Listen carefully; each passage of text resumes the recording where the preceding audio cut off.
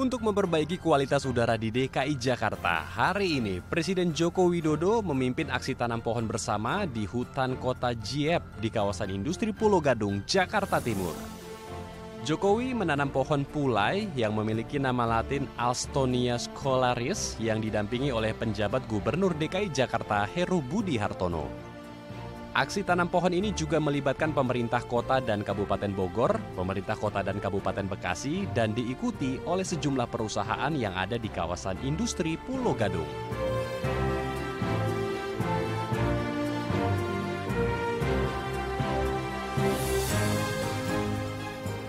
Dalam kesempatan tersebut, Jokowi menyampaikan aksi tanam pohon bersama diharapkan dapat mendorong gerakan penghijauan sebagai bentuk kesadaran akan dampak perubahan iklim yang terjadi saat ini.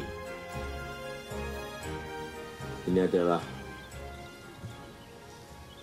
dalam rangka mengantisipasi perubahan iklim, mengantisipasi pemanasan global yang sudah kita rasakan bersama-sama dan nyata juga dalam rangka mengatasi polusi yang ada di Jabodetabek.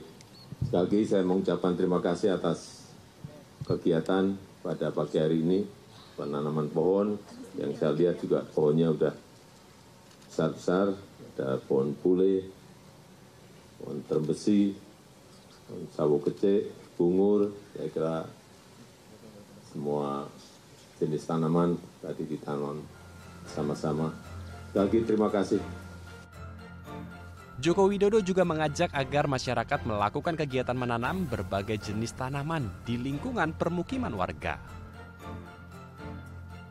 Ya kalau musim hujan pasti beberapa titik di daerah sudah mengalami banjir. Saya kira kita semuanya harus waspada karena hujannya sekarang ini hujannya juga kalau pas panas, panasnya ya ekstrim. Kalau pas hujan, hujannya juga ekstrim. Semuanya waspada eh, BNPB ya, di eh, pusat maupun daerah eh, waspada. Selain itu, saya sekali lagi mengajak seluruh masyarakat untuk menanam pohon apa pun di lingkungan masing-masing.